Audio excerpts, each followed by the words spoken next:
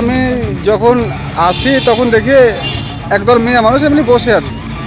আমি তার আগে ওদের কি ঝামেলা হয়েছে সেসব আমি কিছু জানি না আমি বাড়ি এসে দেখি তো ওরা সব বসে আছে আর আসাদুল বলে যে ছেলেটা, ওর ভাই মানে আলমগীরের ভাই আর ওই যে সাহিল শেখ যে মারা গেছে ওর কাকা, ও এসে ওই সাহিলের মাকে মারতে লাগল।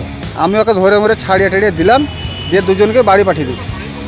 দুজনকে বাড়ি পাঠিয়ে দিলাম ঝই ঝামেলা করি না তোমরা, যাও বাড়ি যাও, পরে একটা যা হোক মানুষ বসে মীমাংসা করে নেবে। তা ও বলল যে, সাক্ষী দিতে হবে। তা যা ঘটেছে সেটাই বলব। তোমাকে তুমি কিছু বলো না, তোমাকে এমনি মারতে লেগেছে। সেটাই বলব। তারপরে আলমগীর শেখ বাড়ি গেল। মোটামুটি দশ মিনিট বাদ দিয়ে। দশ মিনিট পরে তার তার কাকা এরশাদ আলীও ওর সঙ্গে সঙ্গে গেল। এরশাদ আলী এবং এরশাদ আলীর স্ত্রী।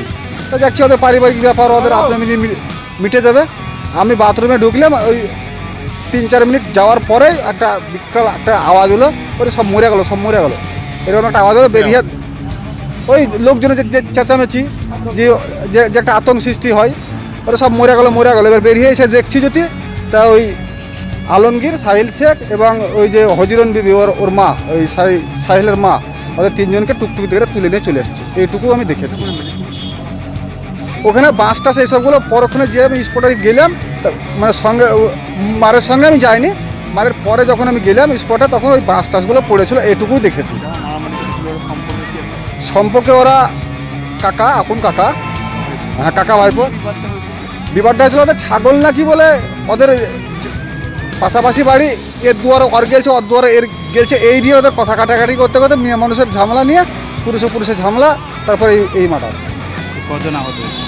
আহত হয়েছে আপনার তিনজন হজরন বিবি আলমগীর শেখ এবং নিহত হয়েছে একজন। তার নাম? তার নাম সাহিল শেখ। বয়স বয়স একুশ। আর যারা ভর্তি আছে তারা কোথায় ভর্তি? মেডিকেল সেন্টারে একজন ভর্তি আছে একজনকে রেফার করেছে। এই মানে ছাড় দিয়েছে আর কি বাড়িতে আছে। হ্যাঁ মোট তিনজন আহত ঘটনাটা ঘটেছে দুর্গাপুর গ্রামে কান্দি থানা।